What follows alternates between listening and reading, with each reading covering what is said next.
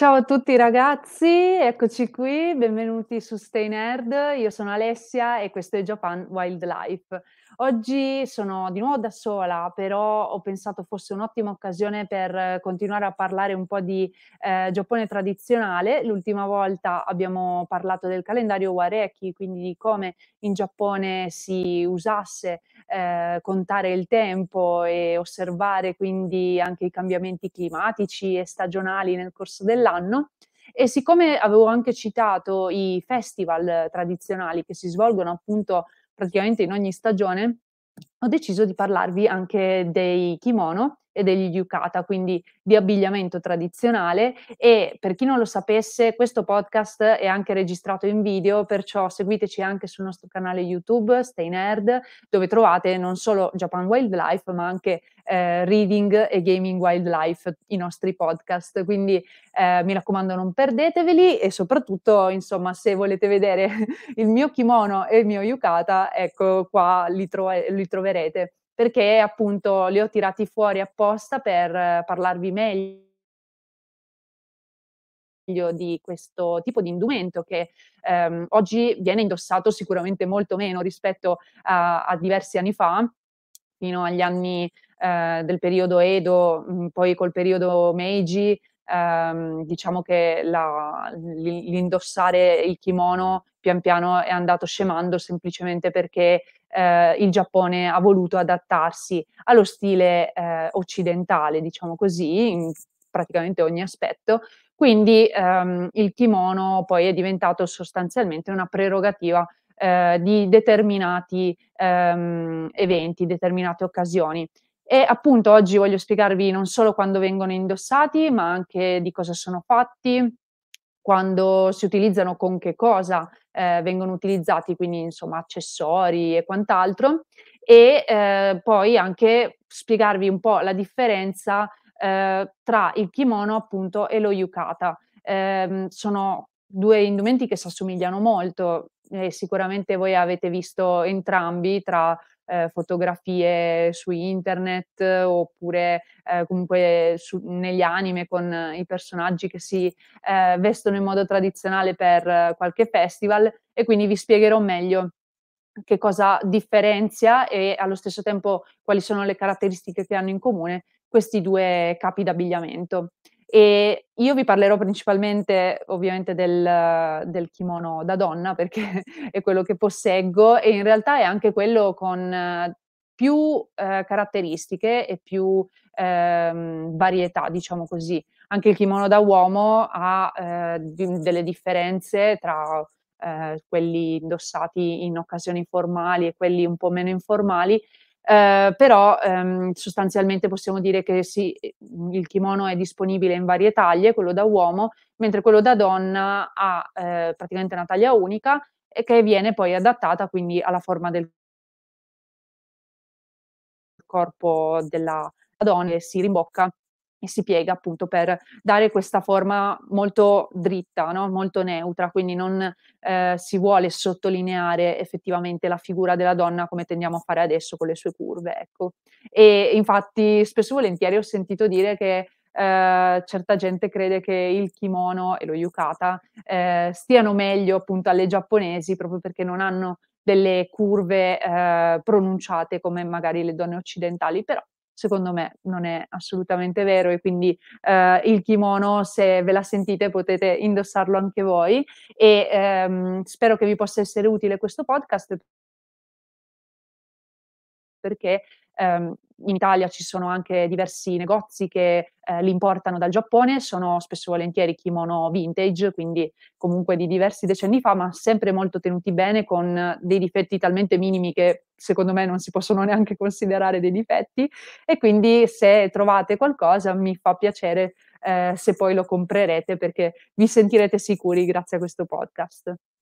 Quindi cominciamo subito e innanzitutto eh, stabiliamo quando vanno indossati, naturalmente. Io eh, sfortunatamente ho avuto pochissime occasioni per indossare il kimono, anche perché in realtà è piuttosto difficile eh, indossarlo, spesso volentieri eh, bisogna effettivamente farsi aiutare. Esiste addirittura una qualificazione nazionale in Giappone per ehm, proprio definirsi esperto di di vestizione del kimono, quindi serve un grande esercizio e studio. Mhmm, una regola importante che vi posso già dire comunque è che, ehm, non va messo il diciamo il lato destro del kimono sopra il sinistro, quindi mi raccomando fate sempre il contrario, sotto il destro, sopra il sinistro, perché al contrario sarebbe, ehm, diciamo quello che si fa quando si assiste a dei funerali e diciamo che sarebbe un po', ehm, strano farsi vedere così in giro. Ehm, quindi questa cosa è molto importante perché ci fa anche capire che il kimono appunto si indossa proprio per eventi importanti e o formali. Ehm, una volta ovviamente veniva indossato a livello quotidiano, perché kimono, proprio i suoi kanji, i kanji che lo compongono sono ki, kiru, cioè appunto indossare, e mono che significa cosa, quindi è letteralmente cosa da indossare, ehm, ed è appunto questo capo d'abbigliamento tradizionale che poi ha varie distinzioni, però alla fine sono tutti definibili kimono, quelli che si vedono, ehm, in giro. Non importa se ad esempio lo vedete con delle maniche più lunghe del solito, ehm, poi approfondiremo meglio che tipi di kimono esistono, però sempre di questi si tratta. E lo yukata fa parte di questi tipi, solo che, ehm, si differenzia per origine e utilizzo e poi anche per, ehm, il materiale di cui è fatto. Lo yukata come kanji infatti ha, ehm, questi 2 che indicano sostanzialmente che veniva usato come una sorta di accappatoio. Nei ryokan, quindi nelle ehm, negli alberghi tradizionali giapponesi che di solito hanno anche delle onsen, quindi delle terme, vengono appunto forniti, ehm, gli yukata dopo aver fatto il bagno, quindi, ehm, lo yukata nasce in questa maniera e perciò, ehm, viene usato nei festival estivi, di solito si vede magari in qualche, ehm, anime dove le protagoniste si vestono in occasione di un festival estivo, ehm, oppure comunque in generale pe durante questa stagione perché, ehm, è fatto di un tessuto molto leggero rispetto al al kimono e quindi non viene mai indossato nelle occasioni formali, mentre il kimono lo potreste indossare per un matrimonio, ehm, appunto come dicevo un funerale o magari qualche altra cosa, ehm, particolarmente importante. Come vi stavo dicendo, sono fatti, ehm, anche di materiale diverso. Il kimono e anche lo yukata possono essere fatti di lino o poliestere, perché ormai, ehm, possono diciamo essere prodotti in serie e quindi in effetti online potreste trovare qualche kimono, ehm, dic diciamo non proprio di gran qualità e però sicuramente infatti sarà fatto di poliestere. Quindi il kimono, ehm, vero diciamo, quello che potreste considerare il migliore in assoluto, è fatto in seta e le famiglie spesso e volentieri, proprio perché tra l'altro è molto, molto costoso, ma davvero molto, si arriva a migliaia di dollari come ehm, come cifre, quindi anche in euro più o meno siamo lì, ecco venivano infatti diciamo tramandati di generazione in generazione per questa ragione e perciò anche per questo motivo i kimono vintage che trovate sono tenuti molto, molto bene. E, ehm, il kimono quindi può essere fatto di seta, mentre lo yukata, come vi dicevo, è di solito di, ehm, un tessuto leggero, quindi può essere anche lui infatti di lino, ma è soprattutto, ehm, fatto di cotone, ehm, è facile da lavare e soprattutto quindi è traspirante, perciò, ehm, anche col fatto poi che è, insomma leggero e fatto di cotone, ehm, risulta naturalmente meno costoso. Io qui in camera, per chi sta guardando il video YouTube, ehm, sto mostrando il mio kimono che è, ehm, di un colore lilla, ehm, con dei decori floreali che però sono veramente molto, molto leggeri e, ehm, per nulla, ehm, diciamo, ehm, troppo grandi e e quindi, troppo evidenti. Sono veramente molto delicati ed eleganti, proprio perché, il kimono non deve essere appariscente. Mentre lo yukata, ehm, solitamente ha un altro tipo di pattern molto più vistoso e infatti nel mio caso tra l'altro è di un colore scuro, ehm, insieme a del bianco e poi ci sono un sacco di fiori, ehm, sul rosa e sul lilla anche in questo caso. Quindi, ehm, diciamo che si differenziano anche per questa ragione, sono, ehm, veramente di diversi per, mhmm, occasioni in cui si usano, per come sono fatti e di conseguenza anche poi, ehm, per, ehm, gli accessori che si utilizzano insieme. Infatti per il kimono, ad esempio, c'è, ehm, questa, ehm, specie di intimo che si chiama juban, io purtroppo questo non lo posseggo, che è sostanzialmente una veste leggera, ehm, bianca, che non deve spuntare da sotto il kimono. Quindi il kimono siccome e anche lo yukata arriva a all'altezza poi delle, ehm, caviglie quando viene, ehm, rimboccato e insomma messo in posizione,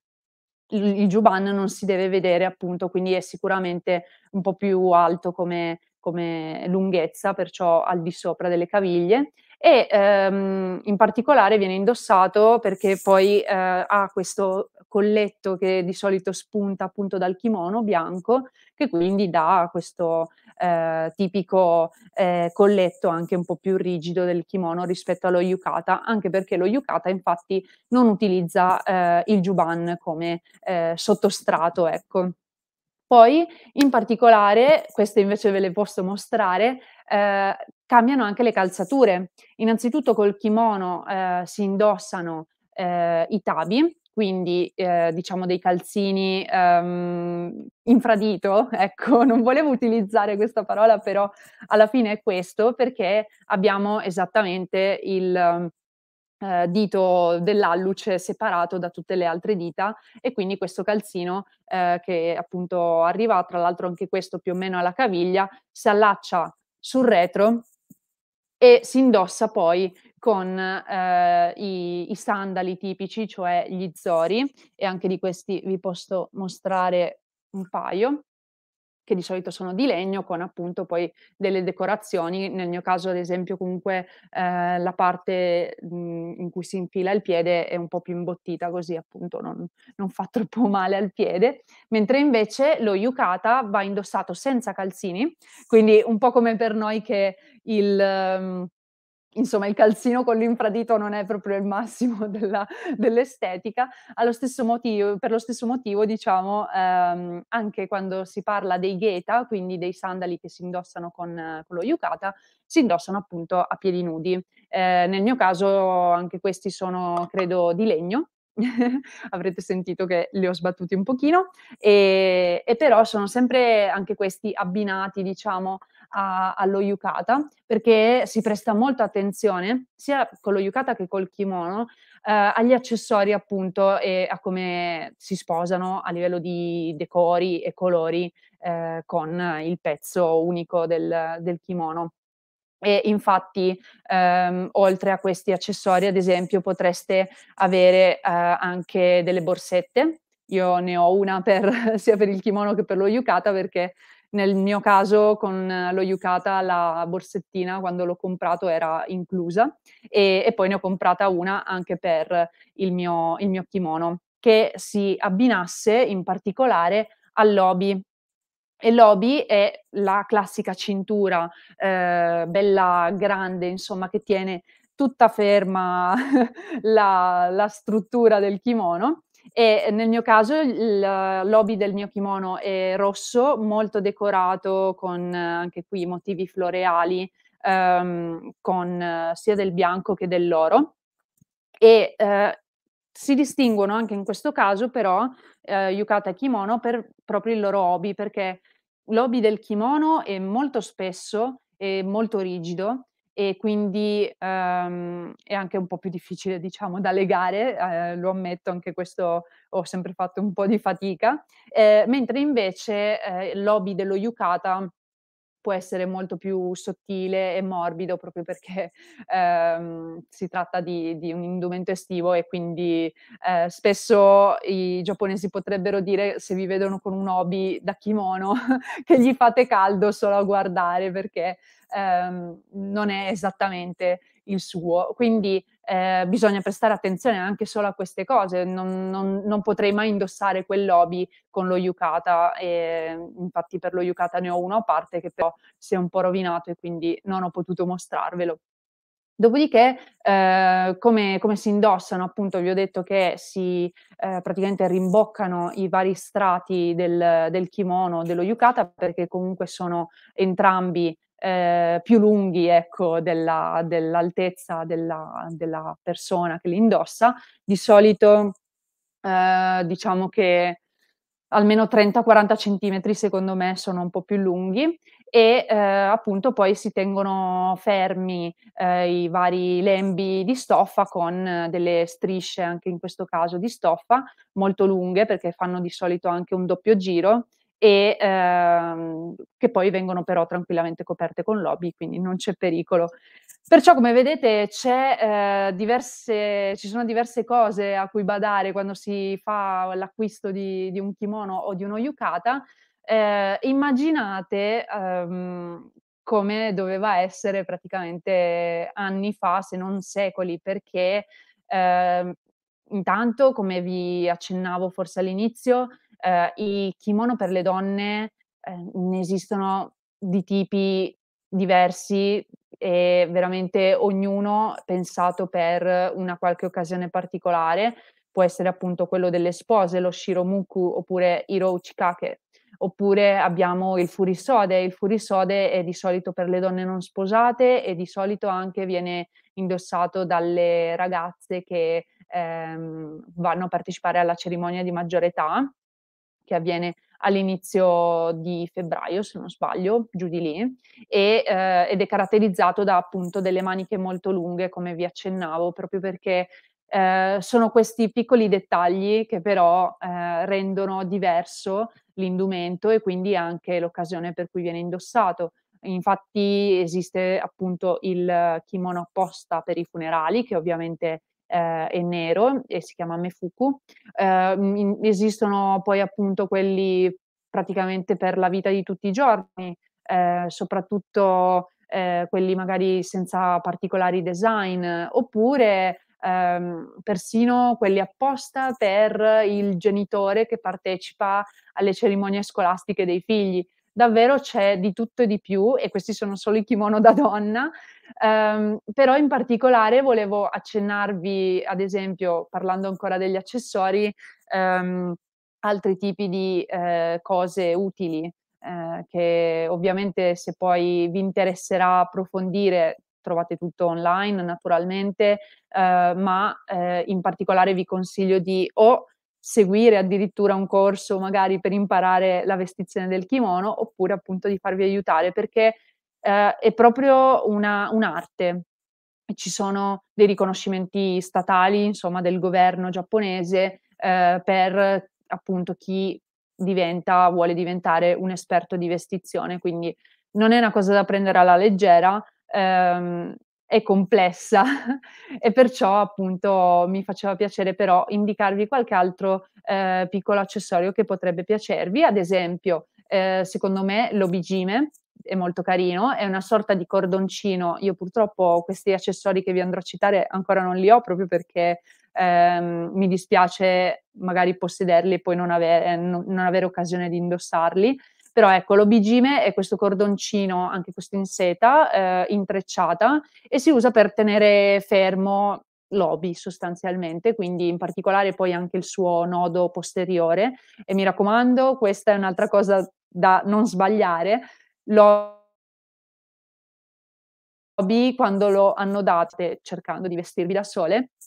ehm, non annodatelo e lasciatelo davanti, cioè non fatelo. Girate l'obi, ehm, in tutti i tutorial che ho visto appunto le ragazze lo fanno vedere che bisogna, ehm, far girare l'obi fino a far arrivare il nodo sul retro perché, ehm, veniva portato davanti solamente dalle prostitute, quindi mi raccomando non fate questo tipo di errori, ehm, diciamo abbastanza superficiali perché, ehm, è un peccato. E, ehm, l'obijime insomma tiene fermo questo nodo, il fiocco dell'obi e, ehm, in realtà serve anche solo come decorazione, appunto, una decorazione in più per per l'obi, per la vita insomma. Altrimenti un'altra cosa molto carina e che ho visto soprattutto, ehm, essere un pezzo che sta venendo proprio rimodernato dalla moda di di dei nostri giorni, è lo Haori, che è una sorta di soprabito, ehm, diciamo può arrivare mhmm, come lunghezza ai fianchi, ehm, l'anca più o meno, o addirittura anche la coscia, però insomma avete capito più o meno l'altezza e aggiunge di solito un ulteriore formalità a all'intero outfit. Ehm, non è antico tanto quanto il kimono, perché il kimono risale comunque, ehm, al periodo Heian, quindi siamo nel 794 fino al 1185 per quanto riguarda, ehm, il kimono, mentre lo Haori come soprabito viene introdotto già nel XV, XVI secolo, perciò molto più avanti. E all'inizio era anche solo riservato agli uomini, quindi, ehm, non non era una cosa, mhmm, insomma indossabile dalle donne, fino poi al periodo Meiji, quando è entrato di moda diciamo, ehm, e alla fine comunque siamo sempre stati, ehm, noi occidentali, no, a influenzare, ehm, anche lo stile d'abbigliamento poi nipponico. E quindi l'Haori secondo me è una cosa molto carina anche questa da avere, anche senza il kimono, perché appunto si sta cercando di svecchiarlo e l'ho visto indossare pro come un soprabito su anche normali insomma, da tutti i giorni. E magari anche questo, ehm, tenuto in vita per ovviamente sottolineare meglio la figura, ehm, anche questo tra l'altro proprio con un obigime, quindi davvero, ehm, ho notato che, ehm, questi indumenti tradizionali non mhmm, non vogliono essere, ehm, dimenticati, non si vuole, ehm, lasciare che che vengano dimenticati e quindi, ehm, tanta gente, poi soprattutto grazie a a a internet, sta cercando di riportarli alla ribalta, però rinfrescandone, ehm, l'utilizzo. E infine un'altra cosa che secondo me può essere utilizzata appunto alla stessa maniera nella vita di di tutti i giorni, sono i kanzashi. E i kanzashi sono degli ornamenti per i capelli, ehm, di solito hanno dei fiori, ehm, son fatti di seta, oppure sono dei pettinini, ehm, di legno, oppure delle forcine diciamo, quindi comunque qualcosa che può anche tenere proprio ferma, ehm, la vostra acconciatura. E servono ovviamente anche a decorarla e, ehm, anche qui si può prestare particolare attenzione al fiore appunto che magari, ehm, è rappresentato nel dal kanzashi, quindi, ehm, se si abbina bene al vostro kimono, ehm, de dovete badare non solo al colore, ma magari anche proprio al tipo di fiore, perché per ogni stagione, abbiamo ormai capito, ci sono fiori diversi soprattutto in Giappone, ehm, ci sono tantissimi fiori con diversi significati che hanno acquisito tramite l'arte e la poesia e magari un giorno ne parliamo, ma se intanto volete approfondire questi dettagli potete leggere il mio articolo sulla Hanakotoba, sempre sul sito di Stay Nerd naturalmente. E, ehm, quindi il kanzashi insomma è un'altra cosa che sicuramente potreste, ehm, trovare in giro, soprattutto ho notato che, ehm, si trova tranquillamente su qualche banchetto alle fiere del fumetto, ora che stanno ricominciando, quindi, ehm, se vi possono interessare, ehm, sicuramente li trovate più facilmente e sono ovviamente più abbor dabili come prezzo rispetto a un intero kimono. Però ecco, a proposito di kimono e, ehm, del succitato periodo Heian, volevo concludere questo excursus dedicato a, ehm, questi abiti tradizionali, parlandovi di un kimono molto particolare che si chiama, ehm, Juni Hitoe e consisteva in ben 12 strati, quindi in realtà è stato, ehm, utile che nel corso di questi decenni e secoli ovviamente, ehm, si sia iniziato a, ehm, semplificare un po' il kimono, perché nell'epoca Heian e soprattutto, ehm, in particolare nell'ambiente di corte, il Juni Hitoe veniva indossato, ehm, dalle dame e appunto, come vi dicevo, consiste in 12 strati, ormai non viene indossato ovviamente da nessuno e, in realtà nemmeno dal dalla famiglia imperiale. È successo che, ehm, l'imperatrice, ehm, quella attuale insomma, in occasione, ehm, della salita al trono del del del principe Naruhito, quindi l'attuale imperatore, ehm, lei indossasse questo tipo di kimono che però, ehm, ovviamente lei avrà sentito che era esattamente come nel periodo Heian, cioè impossibile muoversi perché 12 strati, capirete bene, sono decisamente pesanti. Non significa che siano 12 kimono letteralmente, sono tipi diversi di indumenti che però messi uno sull'altro effettivamente, ehm, non sono proprio la comodità. Però una volta, ehm, le dame di compagnia e in generale le dame di corte non è che dovessero esattamente farsi le corse in giro per il palazzo, quindi, ehm, dovendo dedicarsi sostanzialmente ai loro sollazzi, non c'era bisogno di fare questi grandi ehm, questi grandi movimenti. E poi, ehm, volevo anche però citare in particolare, nella speranza che in futuro ne potremo parlare meglio, anche il kimono indossato dalla geisha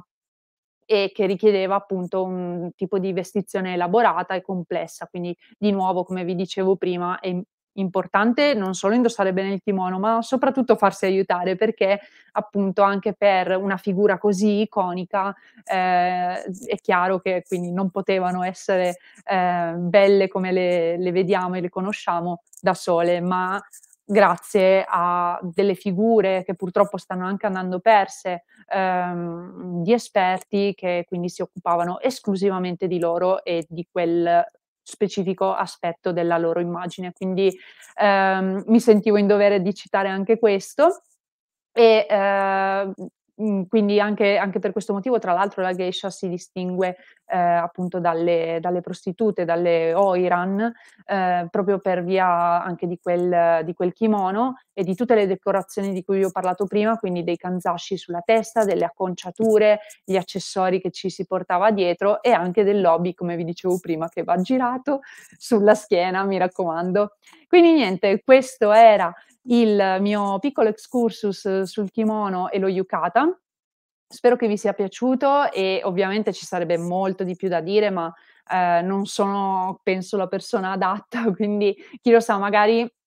conoscerò qualcuno e mi farebbe molto piacere nel caso, altrimenti se lo conoscete voi di ehm, quindi mettetemi in contatto perché mi piacerebbe davvero parlare con qualcuno di esperto, ehm, nella vestizione e sarebbe davvero interessantissimo. Quindi chi lo sa, un giorno magari riusciremo a fare anche questo. Io spero, dicevo, che vi sia piaciuto questo ehm, queste queste questa serie di curiosità e come sempre mi trovate su Instagram al nickname orient_ale94 e o altrimenti ovviamente su sulle pagine di Stay Nerd con i miei articoli. Spero davvero di rivedervi presto e grazie mille per l'ascolto. Bye bye.